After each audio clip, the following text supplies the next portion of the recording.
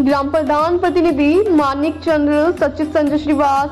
ग्राम पंचायत विकास विकासखंड माधोगढ़ जालौन समस्त ग्राम वासियों क्षेत्रवासियों एवं देशवासियों को स्वतंत्र दिवस की हार्दिक शुभकामनाएं